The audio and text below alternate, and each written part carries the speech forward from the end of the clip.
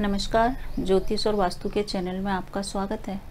Friends, विवाह के बारे में इस वीडियो के अंदर हम बात करेंगे। विवाह योग्य युवक युवतियों का अगर विवाह नहीं हो पा रहा है, उनकी उम्र विवाह की हो गई है और विवाह के लिए उचित वर या वधु नहीं मिल पा रही है तो उनके लिए ये वीडियो है। कई बार फ्रेंड्स, ऐसा होता है कि विवाह में विलम्ब होता रहता है, घर में भी कोई भूमिका नहीं बनती है और जिस भी लड़के या लड़की से हम विवाह करना चाहते हैं, उससे हम कर ही नहीं पाते हैं, न उसको बोल पाते हैं, न वो हमें बोल पाता है। तो अपने मन के हिसाब से विवाह अगर आप करना चाहते हैं और आपका ज़्यादा पूजा पाठ करने में विश्वास नहीं है और आपके पास टाइम भी नहीं है पूजा पाठ करने के लिए, आपके कुंडली में कहीं भी राहु, केतु, शनि, मंगल कहीं भी बैठे हो, कितनी भी बुरी स्थिति में बैठे हो, कितनी भी कुंडली विवाह के हिसाब से खराब हो मात्र इस एक उपाय करने से सारे ग्रह का दोष समाप्त हो जाएगा। आप कुछ भी मत करिए। मनचाहा जीवन साथी प्राप्त करने के लिए सिर्फ़ आप पीपल की पूजा करिए। तो फ्रेंड्स, पीपल की पूजा करने के लिए आपको सुबह स्नान आदि से निवृत्त होना है, उसके बाद एक जल का पात्र लेना है। जल के पात्र में फ्रेंड्स, ध्यान से सुनिए, इसमें ये सारी सामग्री डालनी है। जल का पात्र लीजिए और पात्र के अंदर आप घर का ही पानी लीजिए। उस पानी के अंदर आप डालिए थोड़ी सी हल्दी, थोड़े से काले तिल, थोड़ा सा गुड़, थोड़ा सा कच्चा दूध और इसके अंदर थोड़ी सी चीनी डालिए। चीनी या गुड़ में से अगर आप एक करना चाहें तो आप सिर्फ़ गुड़ डालिए। काले तिल, कच्चा दूध, हल्दी और गुड़। ये चीज़ें डाल करके आप मंदिर मंदिर में ही जाइए, क्योंकि मंदिर में ही पीपल का पेड़ होता है तो पीपल के पेड़ की आपको पूजा करनी है। इस पूजा में फ्रेंड्स एक बात का ध्यान रखिए कि आपको एक सरसों का तेल का दीपक भी जलाना है तो आप सरसों का तेल का दीपक भी तैयार कर लीजिए। ध्यान देने योग्य बात यह है कि पीपल की पूजा आपको शनिवार और अमावस्या को करनी है, और रविवार को भूलकर भी पीपल के पेड़ के पास नहीं जाना है। तो आप इस पूजा को सोमवार से लेकर शनिवार तक कर सकते हैं और अमावस्या को कर सकते हैं। अगर आपके पास इतना टाइम नहीं है तो आप शनिवार और अमावस्या को इस पूजा को कर सकते हैं। बस रविवार को ये पूजा आपको बिल्कुल भी नहीं करनी है, नहीं तो सारे किरे किराए पे पानी फिर जाएगा।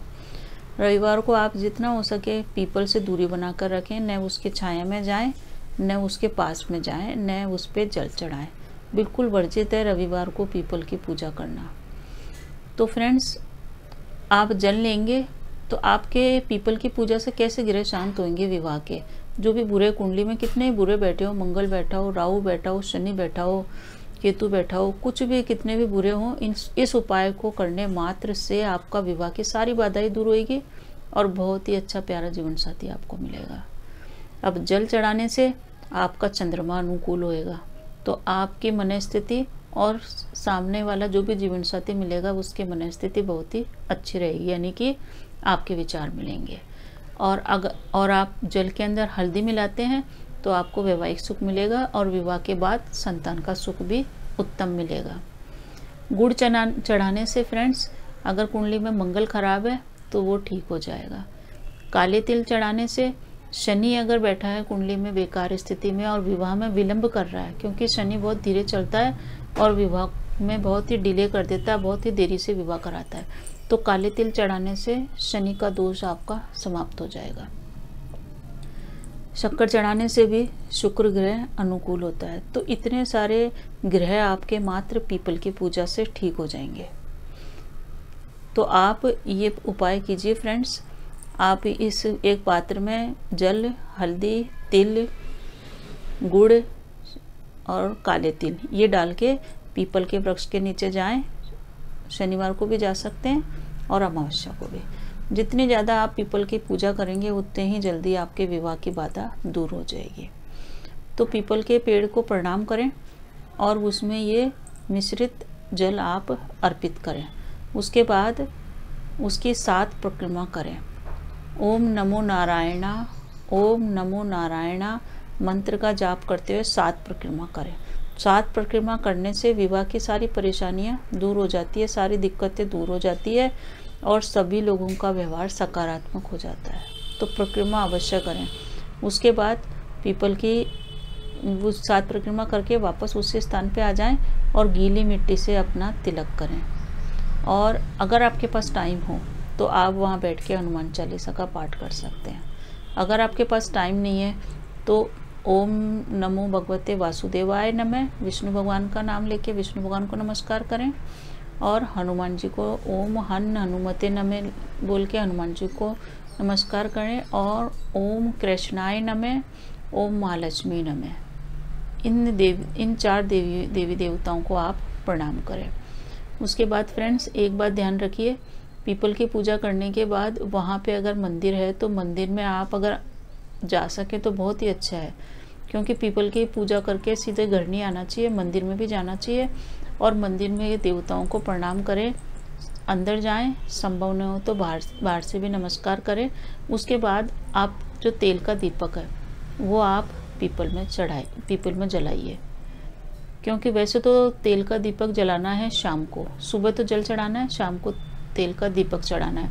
परंतु आज के युवा वर्गों के पास इतना टाइम ही नहीं होता है कि वो इतना पूजा पाठ में अपना टाइम दे पाएँ। तो आप एक ही बार में ये दोनों उपाय कर लीजिए। अगर आपके पास टाइम है तो आप सुबह जल चढ़ाइए और शाम को दीपक लगाइए। और अगर आपके पास बिल्कुल ही टाइम नहीं है, आपको सुबह ऑफ़िस के लिए तैयार होना है, आपके पास टाइम नहीं है कि आप मंदिर जाएँ तो आप फ्रेंड्स एक काम कीजिए, पानी की बोतल में घर का जल भरिए, उसी में गुड़ तिल और हल्दी और ये सब डाल के अपने स्कूटर में या अपने साथ कैरी करिए। और जहाँ भी आपको पीपल का पेड़ मिले ऑफ़िस के पास, रास्ते में, कहीं भी मिले तो आप ये कर लीजिए। दीपक के लिए भी आप एक टिफ़िन के अंदर बत्तियाँ रख सकते हैं और वहाँ पे दीपक भी लगा सकते हैं। अगर दीपक की व्यवस्था नहीं हो तो कोई बात नहीं, आप परेशान नहीं हो, पर आप ये जल तो बराबर चढ़ाइए। फ्रेंड्स ये इतना कारगर उपाय है कि शादी की रुकावटें जितनी भी होती हैं ना, वो सारी दूर होती है और बहुत ही अच्छा विवाह होता है मन के हिसाब से। और रुकावटें दूर होने के बाद शीघ्र ही विवाह हो जाता है। सबसे पहली बात तो है कि शीघ्र विवाह हो जाता है, क्योंकि इससे सारे ही ग्रह जो आपकी कुंडली में कितने भी खराब हों, सब अनुकूल हो जाते हैं एकदम से। आपको अलग अलग उपाय करने की ज़रूरत ही नहीं है। न आपको कोई रत्न धारण करना है, न आपको कोई मंत्रों का जाप करना है, कुछ भी नहीं करना है, न बड़े बड़े अनुष्ठान करने हैं। मात्र एक पीपल की पूजा कीजिए मेरे बताए अनुसार और फिर चमत्कारिक परिणाम देखिए। वीडियो में आप लिख के बताइए कि आपको ये वीडियो कैसा लगा और आपको विवाह की बाधाएँ शीघ्र दूर हो तो इस इस वीडियो के अंदर आप ओम नमः शिवाय ज़रूर लिखिए। तो इस वीडियो को फ्रेंड्स ज़्यादा से ज़्यादा लोगों को शेयर कीजिए ताकि जो भी लोग ग्रहों की परेशानियों से पीड़ित हैं कि कहीं गुरु खराब है, शनि खराब है, राहु खराब है, केतु है, मंगल है, ये सारे ग्रह एक ही पूजा से शांत हो जाते हैं और वो भी बहुत ही आसान पूजा है। एक से डेढ़ माह के भीतर कई लोगों का विवाह होते हुए देखा गया है और एक से डेढ़ माह के अंदर अंदर विवाह की भूमिका बन जाती है, सगाई समारोह तक हो जाते हैं। इतना चमत्कारी ये उपाय है, मात्र इस उपाय को करिए और अपने जीवन को सफल बनाइए। आपका वैवाहिक जीवन सुख में हो, इसी शुभकामनाओं के साथ नमस्कार। वीडियो को लाइक कीजिए और सब्सक्राइब कीजिए। धन्यवाद।